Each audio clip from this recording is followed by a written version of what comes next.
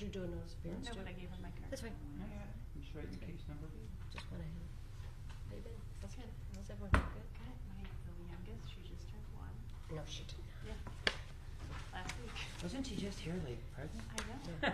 I was gonna say, last time here, I don't think you had even given birth this week, so. Our judges, we're on the record.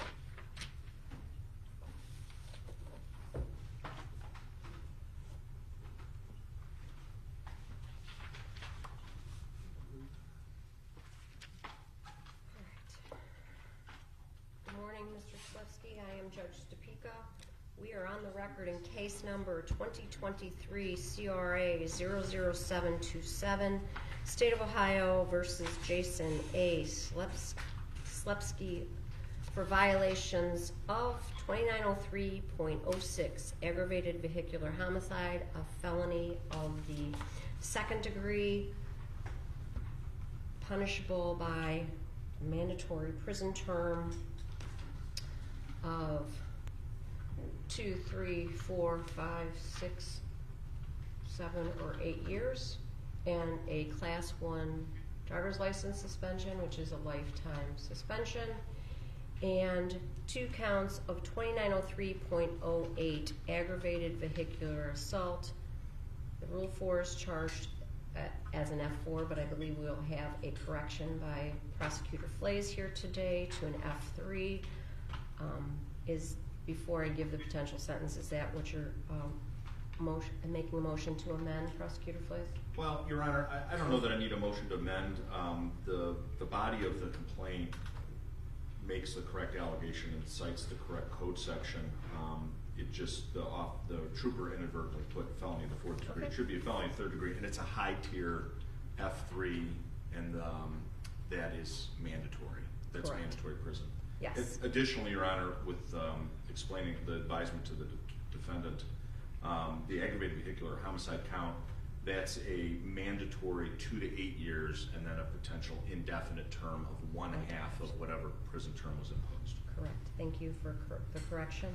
So, um, the potential prison terms are the, on the F three would be twelve to sixty months. And a class three driver's license suspension, which is two to ten years. Also on the record in case number twenty twenty-three TRC 03669, State of Ohio versus Jason A. Slepsky for violations of forty-five eleven point one nine A one A.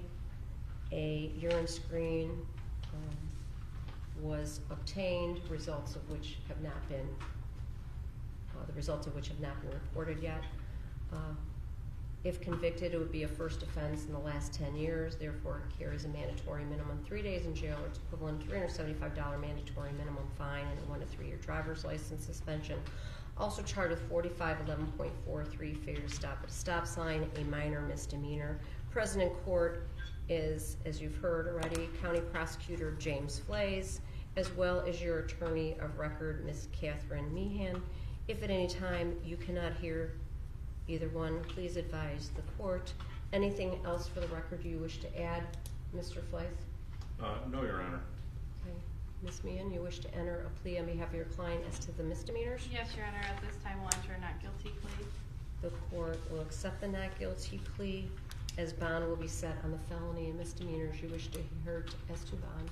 Uh, yes, thank you, Your Honor. I know that this is obviously a very serious case. Um, looking at my client's prior record, I will note that he does have one prior felony conviction. It was from two thousand and eight. It was a felony five theft charge. Um, he has not had any felony convictions since then. That's a fifteen-year window of time. Uh, he does have some misdemeanor convictions ranging from two thousand six to two thousand and fourteen. I think his last case that I could find was a minor misdemeanor for paraphernalia in twenty fourteen. Uh, he is gainfully employed. He works locally here at Dale's Automotive as an auto mechanic. He's been in that industry for the past twenty years. He is married. His wife is present today in the courtroom. Together they have, uh, from separate relationships, two children, aged fourteen and thirteen. I would ask the court to take those factors into consideration. Again, I know that this is a serious case. Uh, I- as I understand it, there is an outstanding chemical test here, but in speaking with uh, the prosecutor, I think he did submit to a portable breath test, which was under the limit, probably why they did the urinalysis as well. But I would just note that for the record as well. But asking the court to weigh the factors for bond, we would ask for a reasonable bond at ten percent so that he can be in the community. There is a way for the community to be safe. This is an allegation of obviously operating under the influence. Um, eliminating his ability to drive will ensure that the community is safe um, and a monetary bond that can be posted at ten percent, I will, I find will be enough to have him appear in court, which is another consideration that this court has to take into account. Um, there's nothing to suggest that he won't appear in court, so we would ask the court to balance the factors and impose a bond, a reasonable bond at ten percent. Thank you, Ms. Mann. You wish to be heard as to bond, Prosecutor Flaiz? Yes, thank you, Your Honor. Um, There was a portable test uh, that was under, but the defendant also uh, admitted that he's prescribed Zoloft and admitted to uh, marijuana use, uh, prior marijuana use, um, which is why the urine screen was taken. Um, The uh, passenger in the ambulance did uh, immediately, was immediately passed away. The other victims. Actually, the, oh, the patient, not The the. pa- patient, the- yeah. Yes, not the patient. passenger. And then the other victims, uh, the driver uh, was transported to Geauga, but he was able to give an oral statement. The EMT that was in the back of the ambulance, um, I, I spoke to the state patrol this morning and the county coroner, uh, and that situation is looking very dire, unfortunately. So based upon um, the factors and the facts of the case, the state would recommend a bond or request a bond of three hundred thousand cash or surety. Thank you. Thank you. The Court's gonna set a five hundred thousand cash or surety bond. There will be conditions of bond as follows. Obey all local, state, and federal laws and ordinances and rules and regulations of this court. Not permanently leave the state of Ohio without court permission, and always keep the court apprised of your current address, phone number, place of employment, and if you're temporarily going out of state, you will not consume alcohol or possess, use, purchase, have under your control any narcotic drug, mind altering substance, or any other controlled substance, nor any instrument, device, or other object used for the preparation or administration of drugs unless lawfully prescribed by a licensed physician. You will submit to random breath, urine, or blood tests for the presence of drugs and or alcohol, no bars, period by noon tomorrow with either Ravenwood or Lake Geauga. Both have agencies within the Geauga County Safety Center. You're gonna uh, schedule an assessment for both substance abuse and mental health. After you schedule that appointment, Mr. Slipsky, you're going to contact the pretrial release department. That number will also appear in your bond conditions you'll receive down to the jail. And let them know if your appointment is October tenth, whatever it might be out in the future. You'll be sent down as well as your attorney getting copies of your bond conditions, your bond paperwork, and the new date for preliminary hearing and on the felony and pretrial on the misdemeanors, which, what is your pleasure? Mr. Flay, Mr. when do you wanna- Flaiz? It's next Tuesday, ten o'clock, okay?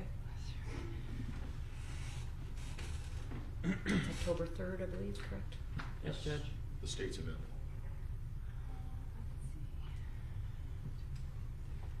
I have an oral argument out in Dayton, so I'm not free next Tuesday. Monday, Wednesday, or Friday? It's gotta be next week. Friday is the better day. The sixth. Is that a good day for you, Mr. Flaiz, or do you have grand jury? on that? No, well, I don't believe we're gonna have grand jury, so I could, I could do Friday, the sixth. Friday, October sixth, What time? Ten, please. ten AM.